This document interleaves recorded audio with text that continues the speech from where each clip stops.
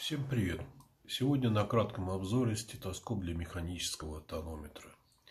Разработан компанией НД Япония, страна-производитель Китай.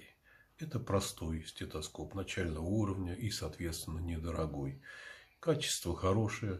Диаметр диафрагмы стетоскопа 45 мм, небольшая.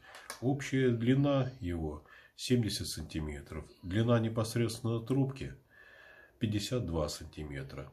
Максимальная ширина между наушниками, иногда это бывает важно знать, до 25 сантиметров. Но 25 сантиметров не нужно. Как правило, достаточно 15-20 сантиметров.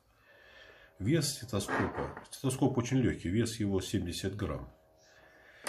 Ну, что еще тут можно э, сказать? Если вам нужно измерять давление не часто, один раз в день максимум, то этот стетоскоп прослужит достаточно долго. Для профессионального уровня измерений десятки раз в день он не подходит. Да, в принципе, он для этого и не производился.